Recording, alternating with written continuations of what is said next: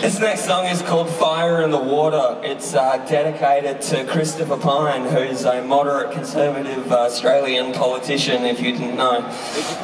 He's not too much of a shithead, but his name rhymes real well with other words, so, you know, he gets put in this song. Sorry, Chris. He, yeah, he looks like an evil, evil goblin. J'avais mis trop dedans. Voilà. En gros, j'ai dit que le gros c'était après, le mariage,